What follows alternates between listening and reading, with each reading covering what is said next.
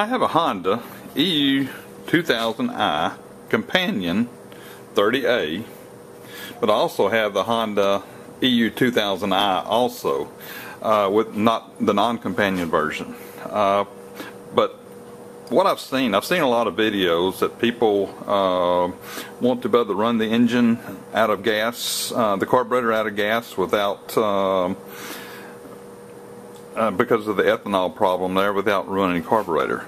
Uh, normally when you kill the engine, you turn your switch to off. When it does, it kills the engine immediately. And so a lot of people, I don't know if you've seen other videos on YouTube, uh, a lot of people will put a valve up here at the top where you can actually turn the turn the valve off and uh, let the carburetor run out of gas and let it kill itself there's really no reason to need to put a valve up here because when you come to think when you look at it this down here is a valve. It closes the valve off. When you turn it off it actually turns the valve inside quarter turn valve which shuts the gasoline off. The only problem is there's also a switch on it and that kills the engine immediately so it never runs out of gas. So instead of putting a valve up here and leaving this on why not just turn the valve off, let it run out of gas by disengaging the kill switch. And what you can do, take the cover off here, and it's really simple fix. If you come look down here at the bottom, uh, right here at the bottom you'll see a uh, plug, and on that plug you will see a green, and I don't know what this light here shows, there's a green and black wire that green and black wire is actually the kill switch that ties in with the switch here. So all you really need to do is disconnect this wire. You disconnect it. And what that does, now when you turn the valve, it kills the engine by letting it run out of gas. It disengages the kill switch where it automatically kills itself. So there's really no reason to put a valve up there.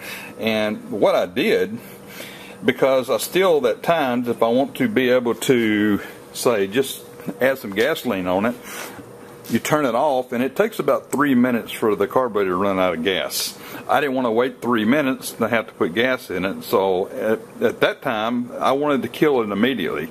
So what I did I got some of these you see right here on the uh, I guess the female side of that same plug and I let the, the male side, just left it hanging there. I put some of these little wiring uh, splicers in it. And all I did was I come upstream just a little bit of the green and the black wire. I put one on the green and one on the black, and I run another wire. I got a red, and it don't really matter which one. I got a black, and it really don't matter which which wire is which because all it does, it shorts out between each other.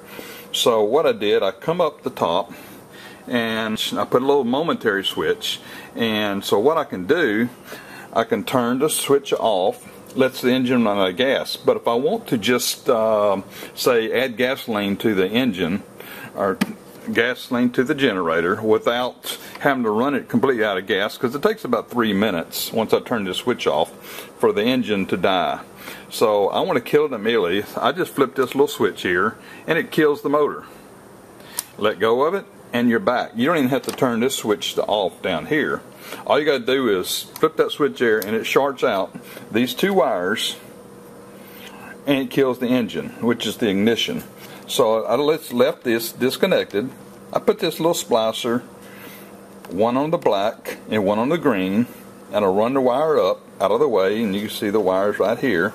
It goes up to this little switch, which I just cut the little hole of the switch in. Now you can use this, or you can even use the round ones and just drill, drill a hole for a momentary switch, because all it has to be is a little push button switch.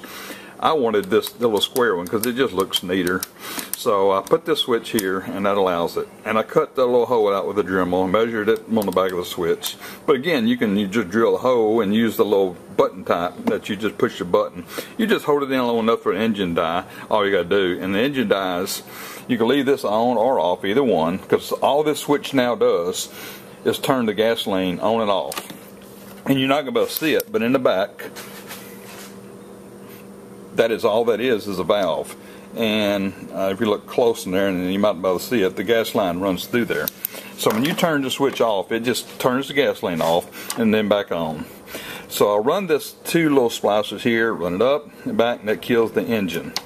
And that allows me to kill the engine for filling up let go is ready to run again start it up and run it. When I'm ready to store it I turn the valve off and let it run out of gas that is one option you can do. Uh, but what I found out, uh, it's really just as simple. After I put this in there, I kind of like the option at first. But if you just turn the thing off normal without any kind of modification on it, turn the valve off, it kills the engine. All I got to do is stick a screwdriver in here, open it, it drains the gasoline down. I usually put a rag down here. I just get a little rag, put it down here, open, turn the screw, open it, and you'll see gas running down here. Probably can get about a tablespoon, maybe a little bit more, is all you're really going to get out. That drains the whole carburetor, and without no modification whatsoever. Uh, even running it by by running it, turning the valve here and running it out of fuel I noticed that if I open this up afterwards, there's still going to be a tiny, little bit of gas. I put a rag down there. There's going to be a little bit of gas, very little. But even the other one ain't but about a tablespoon or two or full. So it really is just about as easy to go ahead and open the lid up and do this here. But using this here, I can run it out of fuel and still minimum fuel in the carburetor itself. So I'm protecting it from ethanol, from any kind of a problem uh, future down the road. I treat my gasoline anyway, uh, but I still like to empty the carburetor. So I just kill the switch. But again, your best bet is still going to be open this here and drain it out. So you can use this kind of system here that I installed here, but still it's just about as easy and it's even safer just to go ahead and run out of gas instead of putting all the other stuff in it. But putting the valve up here really serves no other purpose because you got a valve built in. Just flip, just undoing the uh, the plug here is so much simpler because all it is is a like I say you'll see a green and a black wire you short them out it kills the engine